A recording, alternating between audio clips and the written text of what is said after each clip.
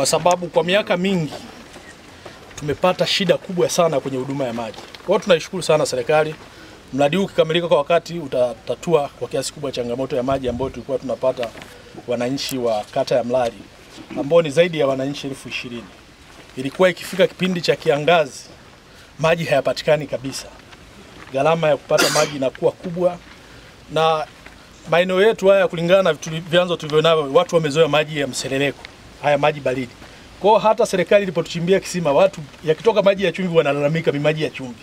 Kwa hiyo maji haya yanayoenda mradi unapoenda kukamilika, tunaenda kupata maji safi na salama ambayo watu wameyazoea kutumia kwenye jamii yetu. Huu mradi tunaozungumza hapa ni wa bilioni mbili na milioni mia tisa utakwenda kuwahudumia wananchi elfu ishirini na tano. Haijawahi kutokea.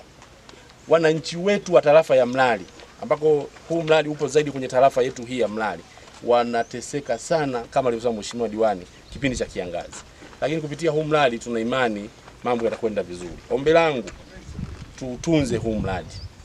Miradi hii ni ya gharama kubwa wataalamu wetu wanafanya kazi kubwa usiku na mchana kuhakikisha kwamba tunapata maji.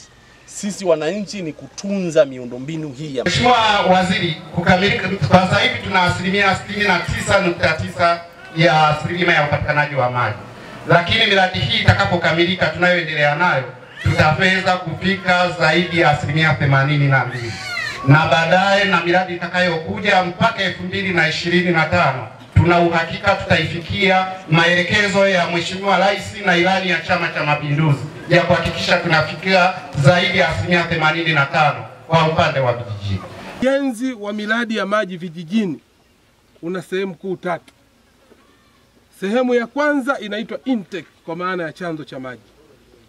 Sehemu ya pili inaitwa tenki, yani kwa maana ya storage, ni hii hapa kwenye tenki, na sehemu ya tatu inaitwa network distribution, yani ile vituo vya kuchotea maji.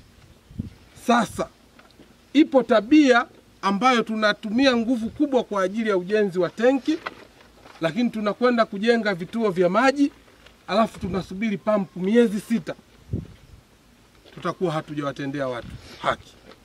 Wananchi wa hapa wa Mlali wanachotaka maji, wananchi wa Mgeta wanataka maji, mhandisi wa maji pamoja na mkandarasi.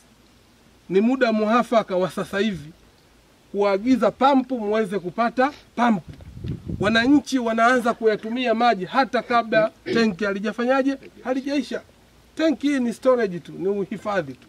Kwa hiyo ukiweka pampu kule, maana yake wananchi wa eneo la chanzo wataanza kunufaika, naweza mkabaipasi na watu wakapata huduma ya maji. Utekelezaji wa miradi yetu ya maji iwe tofauti kuliko huko nyuma tulivyokuwa tunatekeleza. Kwa hiyo unajenga intake, unaagiza moja kwa moja na pampu, wananchi wanaanza kunufa, kunufaika.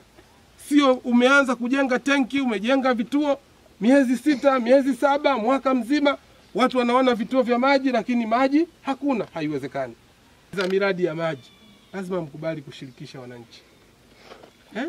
Haiwezekani wewe injinia umepata fedha mradi wa bilioni mbili nukta nne wananchi hawana taarifa, viongozi hawana taarifa, mabomba yanakuja, wanaona watu wanapanda panda. Hapana, lazima mwape taarifa, tuna mradi huu kiasi hichi, hapa kitajengwa hiki, hapa kitajengwa hiki. Hamtakuwa na, na, na, na, na, na changamoto yoyote. Kwa hiyo kwa lugha nyepesi ambayo ninataka kuwaeleza RUWASA na mamlaka zote za maji kwamba ukishirikisha jamii utafanikiwa, usipoishirikisha utakwama. Wananchi wengi sasa hivi ni mgao wa maji, wanapata mara moja kwa wiki. Kwa hiyo mradi huu unaenda kutoa suluhisho. Kukamilika kwa mradi huu kutasaidia kwa kiasi kikubwa sana wananchi, kama nilivyosema, wananchi elfu ishirini na tano. Kwa hiyo wananchi wengi watakaonufaika na vijiji vingi viko upande wa chini, pamoja na kijiji hapa wananchi wakazi wa hapa ambao ni wakazi wa Peko Misegesi.